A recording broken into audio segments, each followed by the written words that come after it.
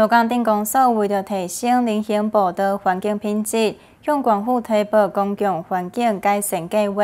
争取营建署补助一千八百多万。其中，龙山街为龙山市开始到复兴南路、至清分路到中山南路这个路段的人行步道改善工程，即马嘛已经接近完工。镇长柯志宏是特别前往视察施工的品质，要求最后工程嘛要确实做好。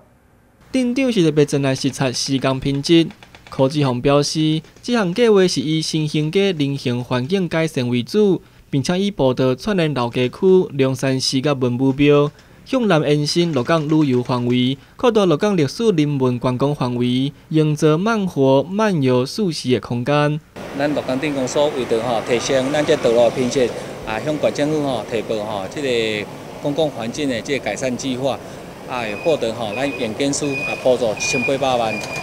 啊来做案打造吼咱鹿港的这款这街路，啊会当讲安尼即次啊咱嘛这衰工期嘛已经吼啊要完成，啊所以尤其今仔吼特别来顺势